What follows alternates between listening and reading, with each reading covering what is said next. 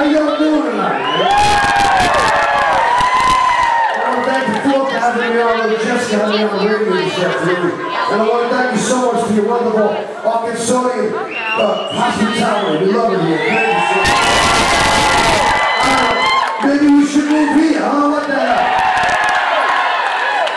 I've been a good boy lately. Uh, I want to thank uh, my probation officer, Mr. Flanagan, and his wife Maureen for coming down tonight. You about. Been a good boy, but my blood type is B. If you could help me out with some clean urine, I'd appreciate it.